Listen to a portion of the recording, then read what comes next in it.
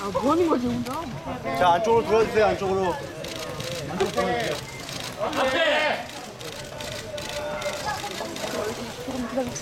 내일 한번 해줄게 인사요. 오빠. 대본 안녕.